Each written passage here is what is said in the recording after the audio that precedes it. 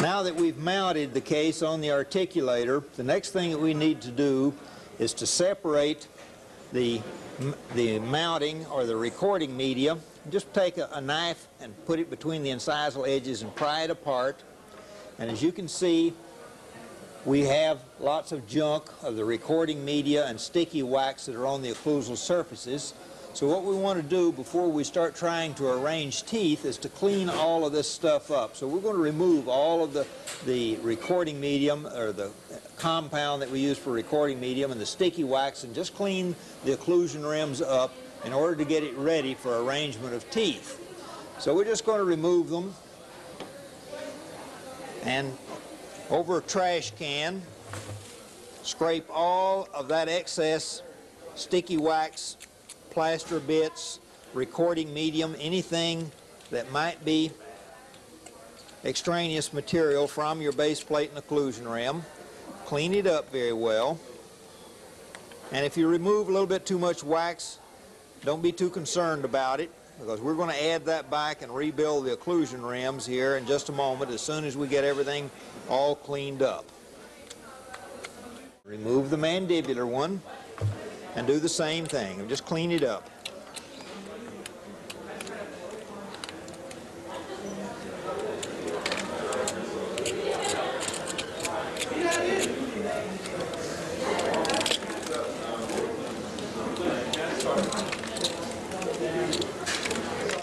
Okay, now we have all that extraneous material off of it. As you can see, when we place it back on the articulator, those rims are not in occlusion. They're open by about two or three millimeters in the anterior, and you may remember at jaw relation time, we decided that uh, after we thought we had established the vertical dimension of occlusion that in securing a record that we wanted to open it about two to three millimeters because in securing that vertical dimension of occlusion we had overcut the wax just slightly. So at this point we can build it back to compensate for that.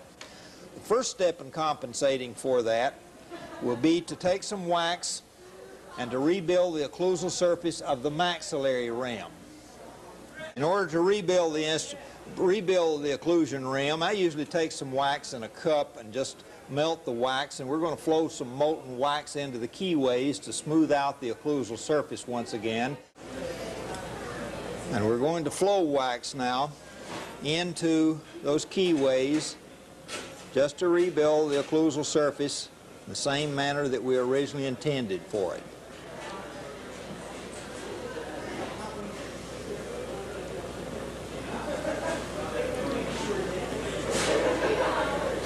Building them back up to their original position. We let that wax cool for just a little bit now. Just till it solidifies. And then we're going to take our hot plate, just like we did originally, and smooth off that occlusal surface.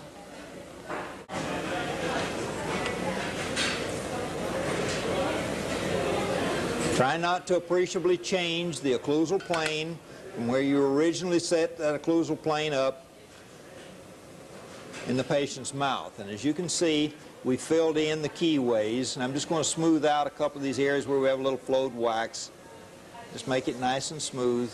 Now that we've reestablished the occlusal plane on the maxillary, as we can see, we have the occlusal plane, but we still do not have occlusal contact. What we want to do with that is to take a piece of base plate wax and we're going to make a little roll of base plate wax, oh maybe the size of a pencil, and we're going to apply that to the occlusal surface of the mandibular and close the maxillary into it in order to reestablish the contact on the articulator of the occlusal rim of the maxillary with the occlusal rim of the mandibular. Probably my guesstimate is half a piece of wax, a sheet of wax on that will be sufficient. It's probably even too much. But let's see. So we fold it over. We're just going to make a little roll about the size of a pencil of base plate wax.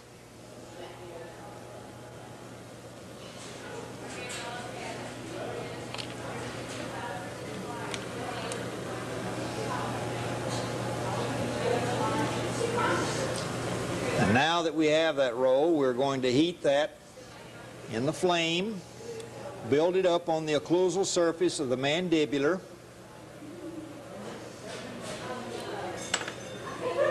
And that, while that wax is nice and soft, close the maxillary into it and mash it into it until the incisal pin comes back into contact.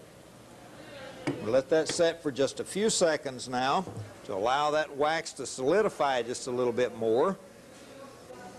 And then we can pry it apart, and usually it'll it won't tend to stick real well to the lower, but this one did. It stuck pretty good.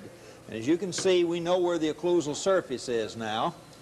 And now we can take a knife, and with a knife, we can cut the excess wax off.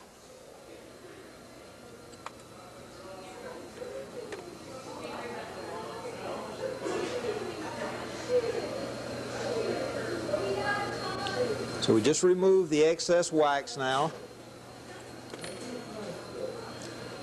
And now we can take a spatula, a hot spatula, and smooth that wax and get it back to a normal form.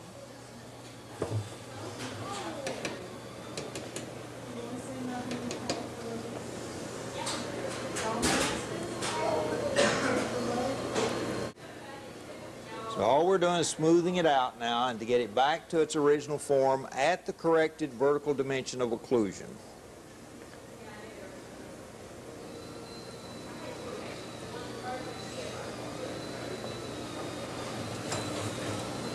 Now we can place it back on the articulator and see if we've reestablished our occlusal contact, which we have. As you can see, we have nice occlusal contact of the rims all the way around. We're ready to start arranging the 12 anterior teeth. Those teeth come to us from the manufacturer in cards of six teeth. This particular card, if you may remember, we had selected in our tooth selection process at the last appointment, we had selected BioBlend Mold 22E, which we find right here on the card. The mold number is 22E, and we selected shade 109, and we find that here on the card. You'll notice that these teeth are arranged in sort of a peculiar manner from the manufacturer, and that has to do with the manufacturing process more than the convenience of the technician or the dentist who's arranging teeth, and that the two centrals are in the middle where you would expect them to be, a right central and a left central. Both laterals are over on the right side, a right lateral, a left lateral, and the two canines are on the other side, right canine and a left canine. And the mandibular teeth, if you'll remember, we selected from our uh, descriptive chart that we had of, uh, uh, of the denture teeth, and that was in that last column when we, uh, when we looked in, on the descriptive card, the specifications of the teeth, and it told us what uh, mold of mandibular anterior teeth occluded properly with the maxillary mold that we, uh, that we had selected. And it turns out that the mandibular mold that is needed to go with the 22E is mold H, and of course the same shade. So we have mold H and shade 109.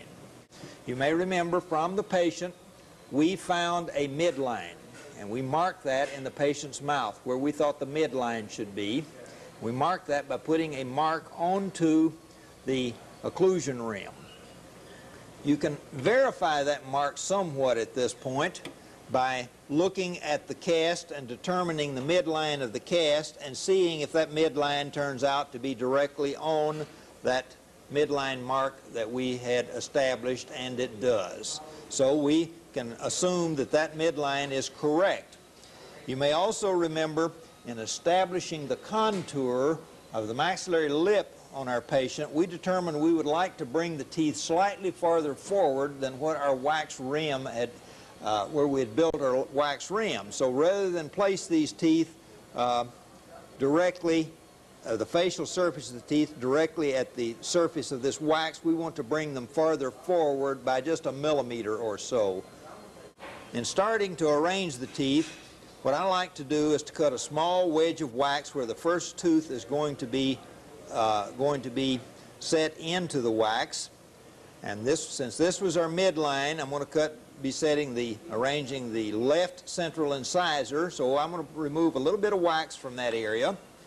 And now with it on the articulator, we're going to pool the wax in that area with a good hot spatula. I like to use this number 31 spatula, nice large spatula, because that allows us to melt wax down uh, in a pretty good manner and a pretty good sized area without having to play around with it too much. So you want to get a pool of wax where that right central or left central incisor would be. Get the left central incisor off of the card and then we're going to place that tooth into that pool of wax at the incisal length that we established, which is the incisal length now that we established from the patient's mouth as being here. And we want that tooth to be slightly forward now of where the original contour was. As you can see, we've placed it about, oh, maybe two millimeters forward of the original contour, as you can see here.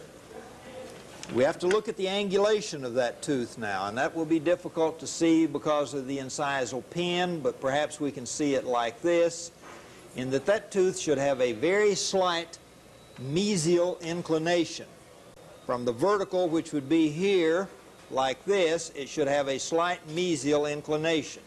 And that tooth seems to be doing that with a slight mesial inclination. You'll note with this particular carving of tooth that with a slight mesial inclination of it, the incisal edge of that central incisor is virtually flat.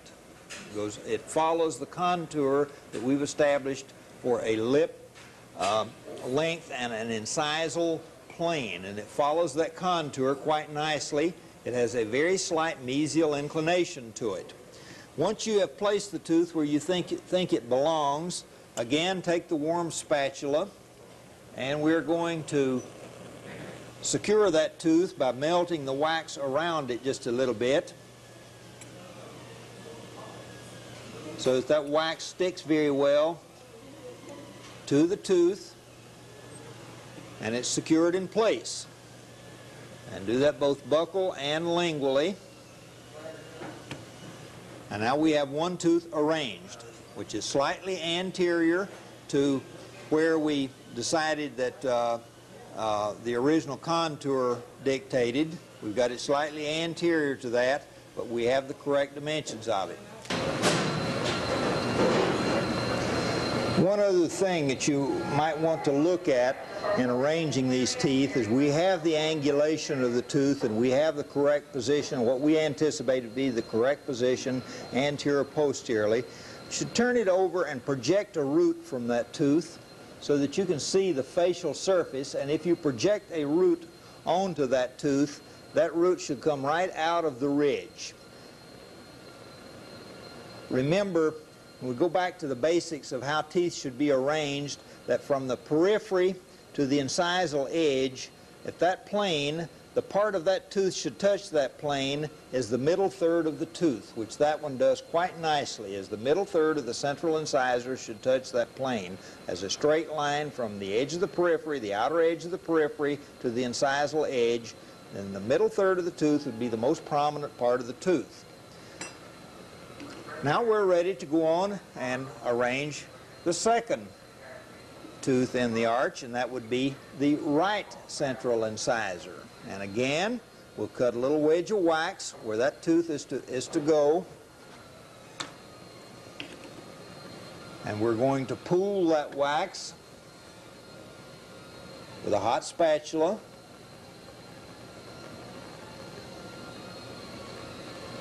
We pool the wax, get a nice little pool of molten wax where we want the next tooth to be arranged.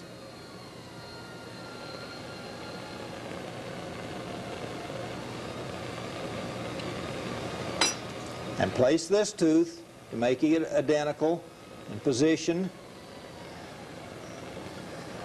to the, to the left central incisor which we placed before. So basically we're just going to duplicate this by placing it into the wax not quite in position. I need didn't get the wax quite cool enough or soft enough. So I need to pull it just a little bit more.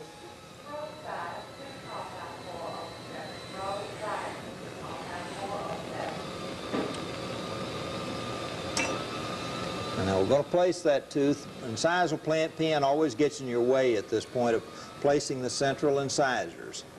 But please do not remove the incisal pin. Leave it alone because it's important that you maintain your vertical with that incisal pin. And now we have the second tooth arranged, and let's see what we have now. We look at it from here. That tooth will have the incisal edge will be a mirror image of the incisal edge that we had of the left central incisor, which it seems to do quite well. It will have a very slight mesial inclination, which it seems to have. And looking at it from a profile, we'll see that it is virtually identical to the right central incisor. And if we remove that base plate from the rim now, and again project a root onto that tooth, we'll see that the root of that tooth would come right out of the ridge. And that's a must that those teeth simulate exactly where those uh, uh, the roots of the teeth would have been if they were natural teeth, that they come directly out of the ridge. We might also want to look at one other factor at this point, and that is to point out the incisive papilla from the inside now. And we see that that incisive papilla, that if this were a natural arch of teeth, that incisive papilla would be lingual to and between the cingula of the two central incisors, meaning right there, and if we look at it from here, that's where it is. So that means that we're in pretty good position as to where those teeth belong. Now we place it back onto the master cast, and now we're ready to arrange a lateral incisor. We'll go over to the left side, cut a wedge of wax out in the area where we want that lateral to go, and again, pull the wax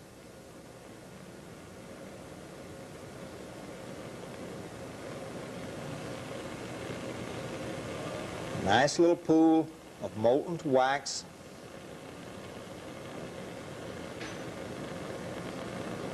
And we want to remember that this tooth is the most angular of all the teeth, meaning that it will have more mesial inclination and be a little bit more prominent at the incisal edge than were the central incisors. And it'll have a little more, a little more mesial inclination to it. And if we look at it from here, we'll see that this lateral now has more me mesial inclination than does the central. The incisal edge of the lateral will be just slightly raised from that of the central, maybe a half a millimeter. And once we have that in position, we would like to open it up and look at the arch form now and see that as we come around from central and central around to the lateral, it begins to form a curve or an arch form. We can see that arch form developing, of it starting out on a curve. Now we want to secure that tooth in place, again with a hot spatula, melting the wax around it, and secure it in place so that it doesn't move on us as we go through arranging the remainder of the teeth. Carve the excess wax back away from the lingual so it doesn't get in your way. It just helps with aesthetics and helps keep it out of your way so that wax doesn't become a detriment to you. So we have three teeth arranged now, two centrals and a lateral. And if we take this maxillary off again and look at it from the from the underneath side, if we project a root onto that lateral incisor, it should come right out of the ridge. Let's see if I can simulate that this way. It should come right out of the ridge. Now we're ready to move on. We'll go to the right side now and remove a wedge of wax for the right lateral incisor.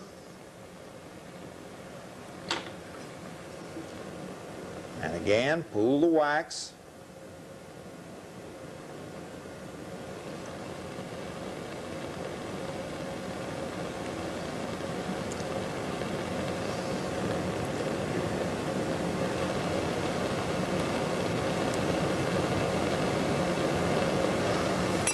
And we get the right lateral incisor and arrange it a mirror image of what we did with the left lateral incisor. Slight bit more mesial contact, uh, mesial inclination to it, a little bit more incisal prominence to it than is the central incisor. And if we look at it from the facial, we'll see that if we look at the long axis of teeth and we look at a central incisor and the long axis of a central, and we come around to the lateral, it will have more of a mesial inclination than did the central incisor. Now we're ready to secure that lateral in place by put, melting the wax around the tooth on the facial and again sear it in from the lingual and remove some of the, that wax from the lingual if you wish at this point. Now we're ready to arrange what in my opinion is the hardest tooth in the maxillary arch to arrange and that is the canine. The canines are very difficult to arrange and to get them to look right and the reason why is they must turn the corner. They're the cornerstone of this anterior arrangement. So what we're going to do is we're going to again pull the wax just as we did for the other teeth and we have to arrange this canine in such a way that it turns the corner. Some of the things that we want to keep in mind with it is that when we view this from the mesial, the canine, the most prominent part of that canine will be the gingival third. So we want to, want to arrange the maxillary left canine, and the gingival third of that tooth at this point will need to be the most prominent part of the tooth.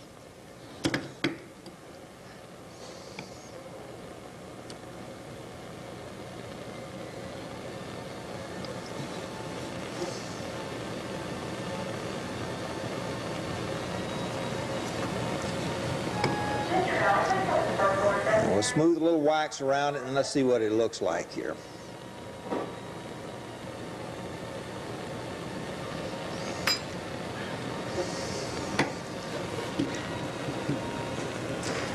Yes, as you can see, when we view this from the mesial now, that the most prominent part of this canine is the gingival third of the tooth.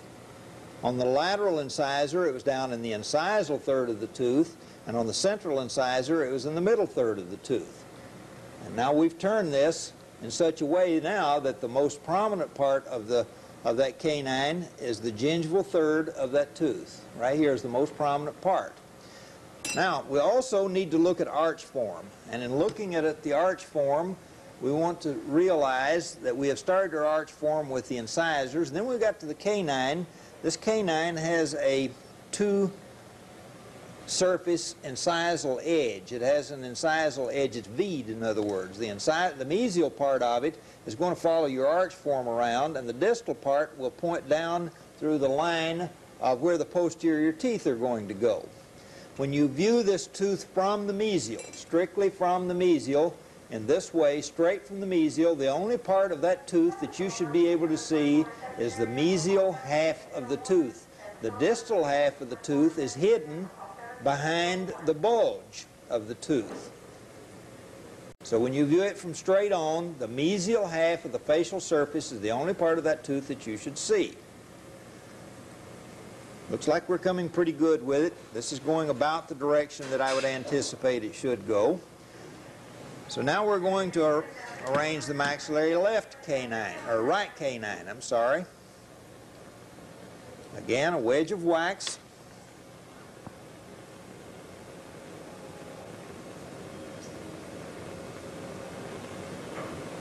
We're going to pool the wax in that area.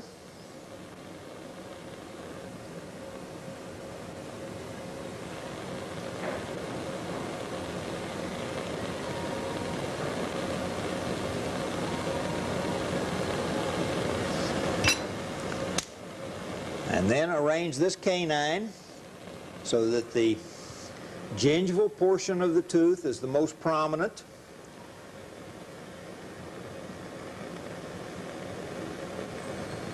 When we view that tooth from the facial, straight from the facial, it should not have as much mesial inclination as does the lateral. The lateral has a lot of mesial inclination. It'll straighten back up a little bit from the lateral. It won't be quite as mesially inclined as is the lateral.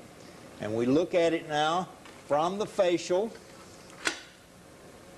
And what we should see when we look at it from the facial is the most prominent part of the tooth should be the gingival third of the tooth, which we have here, the gingival third of the tooth. We look at it from the incisal viewpoint, we'll see that we have an arch form now that is started around there and that the canine turns the corner and the distal part of that canine is pointing back through where the occlusal plane of the posterior teeth would be. So as we can see we have a nice arch form to this now. And we have what might be a nice arrangement to start to try into the patient's mouth as a starter for establishing aesthetics. Now I want to finish stabilizing those teeth into the maxillary and we'll carve a little bit of wax away from the lingual before we arrange the mandibular posterior or mandibular anterior teeth.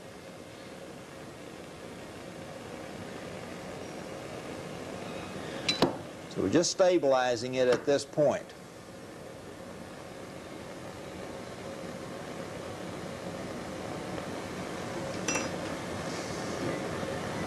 And we can take away any of the excess wax that might be there. This will help us when we start arranging the mandibular anterior teeth because that wax won't be in our way of any vertical overlap that we might like to place into them.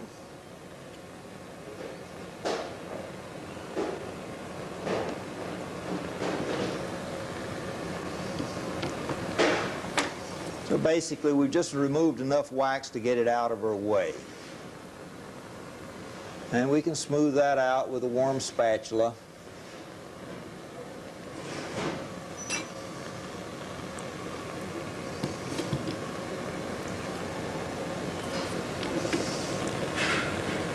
And basically we have a nice arrangement of those teeth at this point. Now that we've arranged the maxillary anterior teeth, we want to mark a midline on the mandibular. Just make that coincide to the same midline we had on the maxillary and mark it.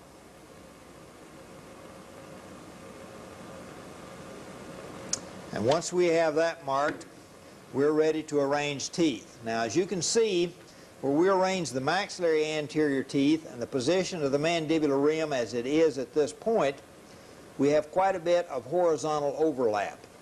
But if we examine the position of the labial periphery, as we have it here, examine that position, we know that we can bring the facial surfaces of the mandibular anterior teeth out as far as the labial periphery, which means that we can have less horizontal overlap into the arrangement than what these, this rim shows us at this point.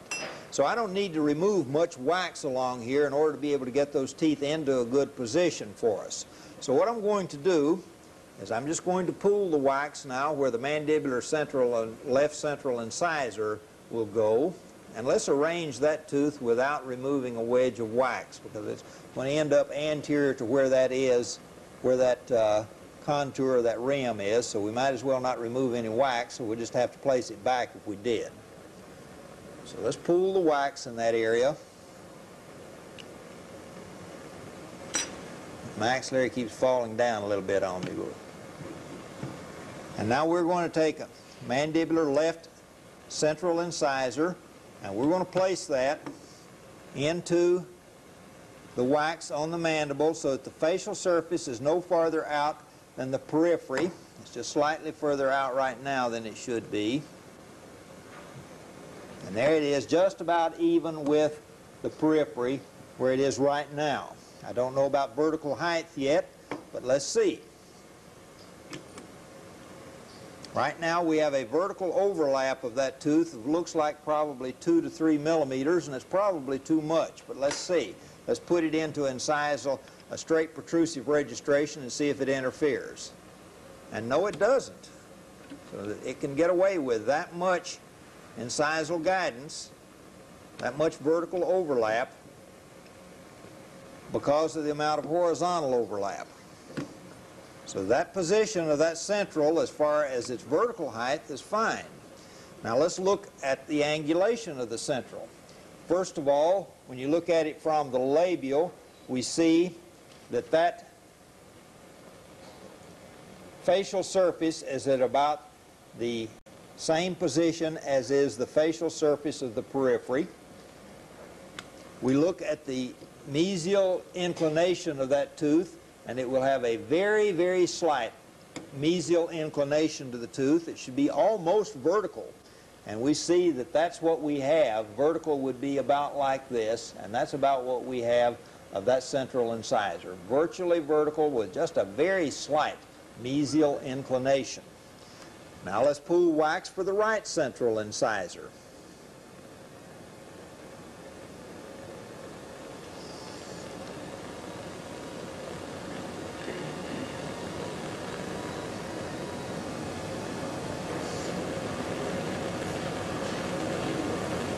Nice little pool molten wax. And we place the right central incisor now. And we want to position it with it so that the incisal height is virtually the same as the left central incisor, which we just arranged.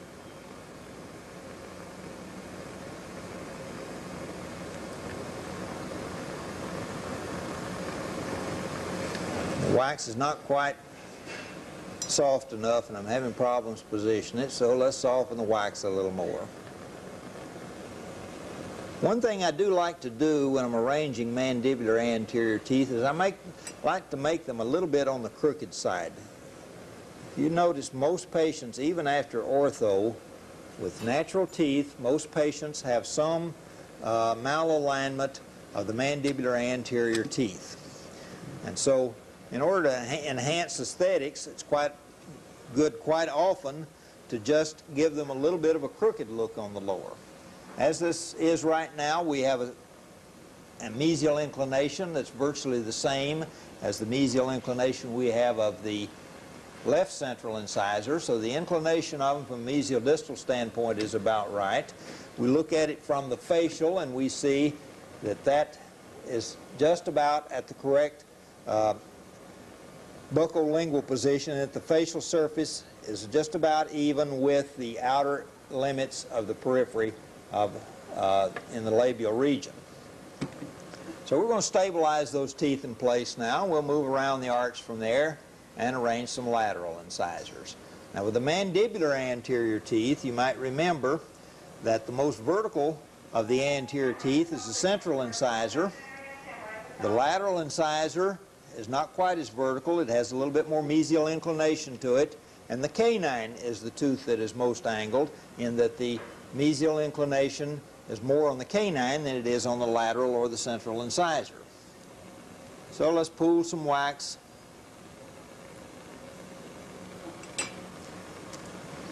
The mandibular left lateral incisor now. And we're going to continue the arch form. We know about where the vertical height should be. And we continue the arch form, and at this point we'll see that that inclination of that lateral incisor now is more than the central incisor. And we're going to continue around the arch in that manner. Now let's check the, the ver vertical overlap and the incisal guidance by placing it into occlusion and moving it into straight protrusive and we see it just barely brushes by with a little contact. We move it into lateral direction and it does miss just slightly. So we're fine as far as the incisal guidance is concerned. Now we can stabilize that tooth.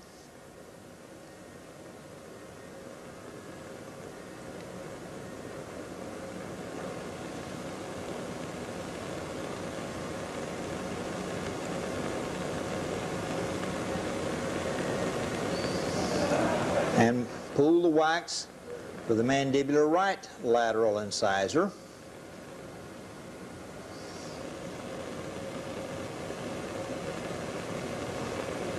I feel like in a way that this particular arrangement is too easy in that I've not had to grind base plate. I have no problem at all with having enough space to arrange teeth. In arranging teeth, one of the biggest problems we have sometimes is space, and this one does not exhibit the problems that you have with space. So let's check the vertical overlap now. It's fine. Just barely getting a little brushing contact to the lateral incisor as we go into lateral with it.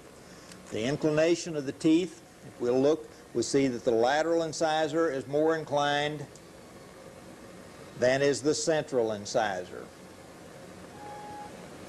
Let's look at arch form. Clean it up. And let's look at the arch form. And again, looking at the teeth from here and projecting roots on them, we'd see that they can't, would come out of the ridge. And now we're ready to arrange the canines. And again, we're going to pull the wax where that canine belongs. Mandibular left canine, and it's going to have more mesial inclination than, than the lateral incisor, and it will begin to turn the arch somewhat. Usually mandibular canines do not turn the arch quite as well as do maxillary canines. But again, as in the maxillary canine, the most prominent part of that tooth when you view it will be the gingival third of the tooth. As we can see there, the gingival third is most prominent. Let's check the vertical height of it by placing it in centric relation. And let's move it into left working. We see it barely misses that canine, which is just what we're after. If we put, move it into straight protrusive, we see that it misses the mandibular, the mandibular canine misses the lateral just slightly. Now we're ready to pull the wax on the right side.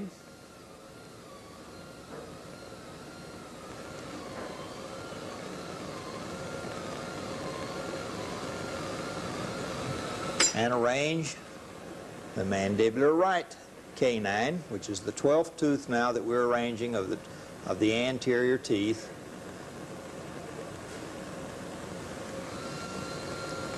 And again, it has a mesial inclination to it, has more mesial inclination than does the lateral. And the lateral has more mesial inclination than does the central.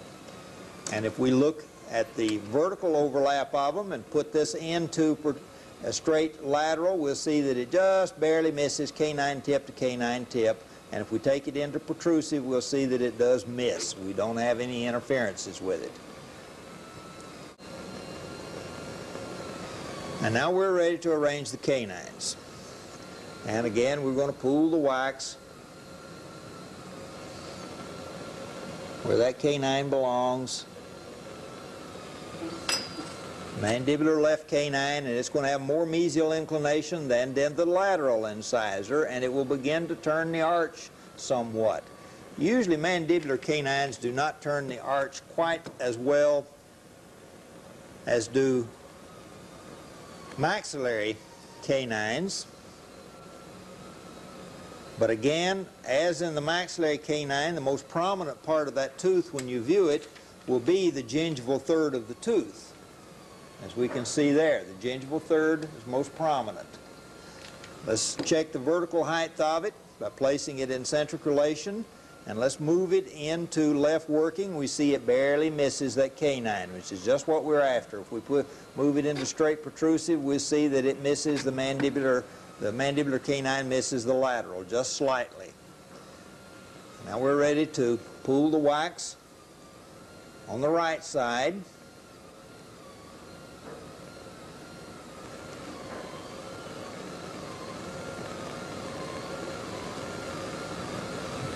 And arrange the mandibular right canine, which is the 12th tooth now that we're arranging of the, of the anterior teeth.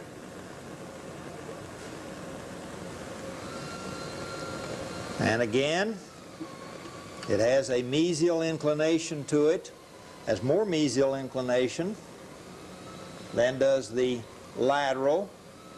And the lateral has more mesial inclination than does the central.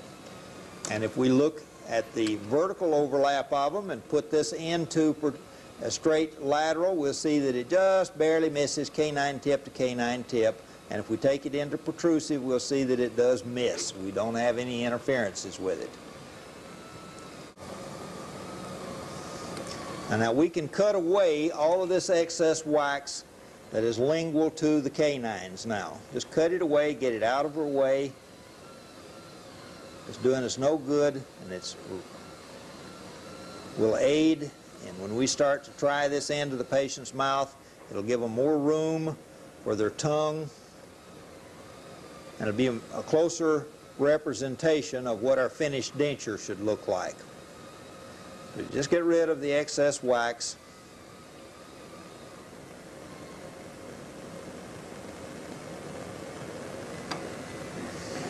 One other thing that I like to do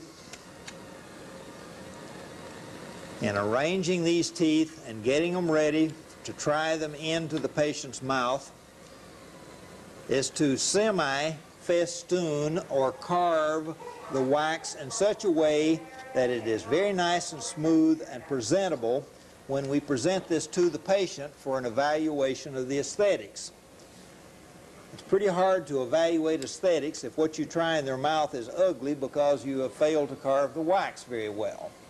So what we're going to do is we're going to get a supply of molten wax into a metal cup just by heating some base plate wax into the metal cup and get a supply of molten wax and we're going to flow enough wax around all of those teeth to be able to carve and smooth the wax in such a way as to simulate the gingiva.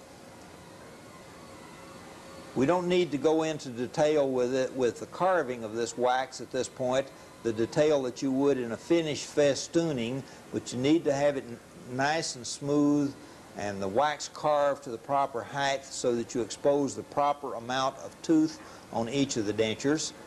And then that gives your patient, you and your patient, a better idea of what the teeth are going to look like and how to evaluate them.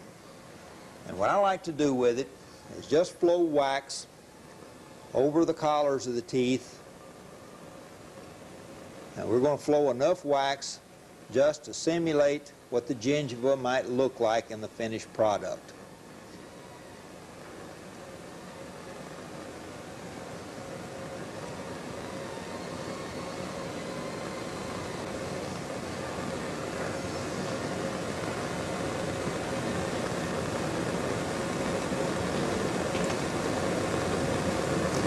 As I said before, this does not have to be to the same degree of finishing that you would if this were the finished product, but it has to simulate what the gingiva might look like. So just flow enough wax to get it to that point.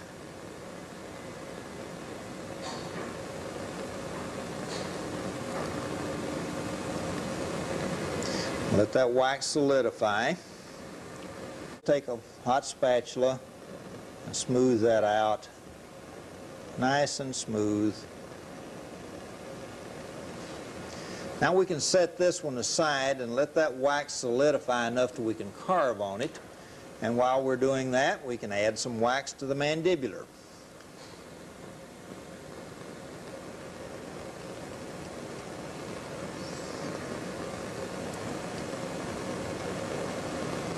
Just don't allow that wax to flow up onto the inside of your base plate.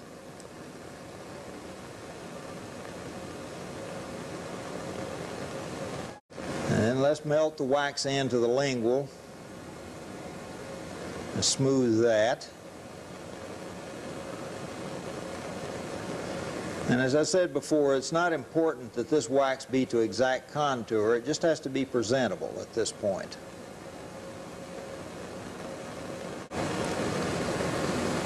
Now we can set this aside, and by this time, the wax on the maxillary should be cooled enough that we can carve the wax. And what you want to do is you want to expose the clinical crown of each tooth by feeling for the junction of the clinical crown of the tooth and the collar. And we do not want to expose the collar, but we do want to expose all of the clinical crown of each tooth. And we would like to simulate somewhat what the gingival papilla should look like, the interdental papilla, but that doesn't have to be exact. And we can carve all that wax now above her cut, carve that off and clean it off of the teeth so that the teeth are nice and clean.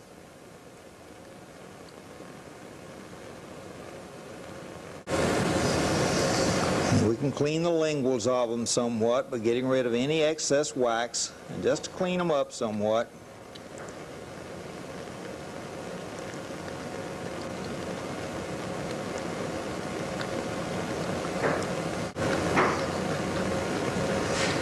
Once you've cleaned the excess wax off, at this point we can take our Hanau torch or alcohol torch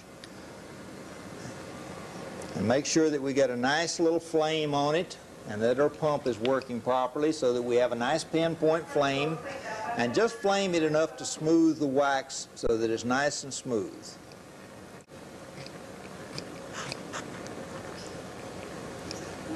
And we can set that aside now. And we're going to carve the mandibular in the same way, just by carving it down to the junction of the collar of the tooth and the clinical crown of the tooth. And then we're going to remove all the wax that's covering the clinical crown of each tooth.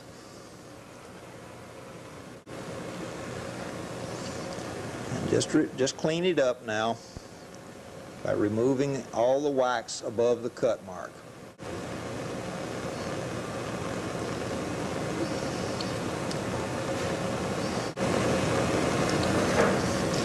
On the lingual again, just clean them.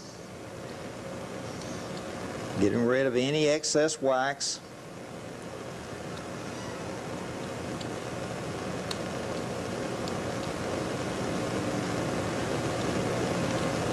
We're ready to flame that again with our Hanau torch just to smooth the wax up. Just enough to smooth it.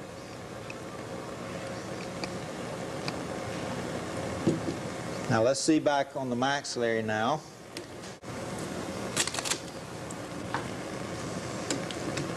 And now we have an anterior arrangement of teeth. And what you want to note with this is that the anterior arrangement of teeth is where we approximated or where we guesstimated when we established jaw relations and so on, where we guesstimated that we thought the teeth might belong. We've arranged them in what our first guess is into a nice aesthetic arrangement of teeth. We've built the posterior rims until they're into total and complete contact in that we do not have any spaces between the upper and lower rims and that at this vertical dimension and this centric relation that we have recorded and the mounting that we have on the articulator, the rims are in perfect contact. Only then, when those rims are in perfect contact and you've done your best with an aesthetic arrangement of the teeth, are you ready to try them in the patient's mouth.